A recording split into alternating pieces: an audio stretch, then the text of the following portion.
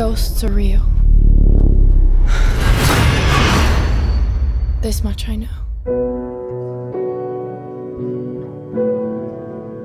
What do you be buying? Take a little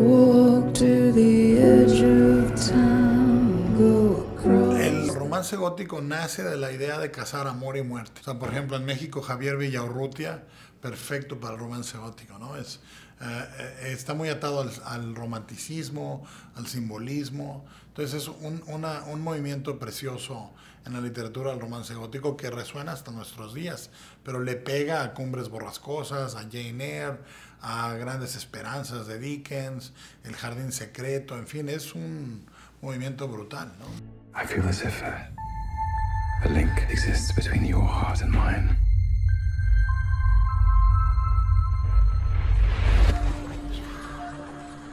How do you manage this house?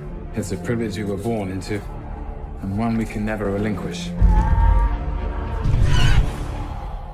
A ver, sácanos de esta duda. Eh, ¿Crees que ahora se estén haciendo este tipo de mashups de géneros que sea más difícil etiquetar una película, lo que convierta la película en algo más, más entretenido y más fascinante? Bueno, este, este, este más que mashup es un- un- una re- reestructuración de un súper clásico. La película es muy, muy clásica en muchos aspectos y moderna en otros. Es decir, la violencia, el sexo, la, la- la política sexual de la película es muy de ahora, pero la, la estructura, la factura, yo quería hacer algo como un gran clásico de Hollywood, ¿no?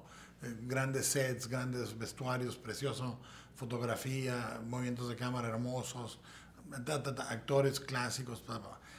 Pero no es un mashup, es realmente un mashup que ocurrió en 1780 y tantos, cuando escriben el primer, la primera novela gótica, que es El Castillo de Otranto de Horace Walpole, ¿no?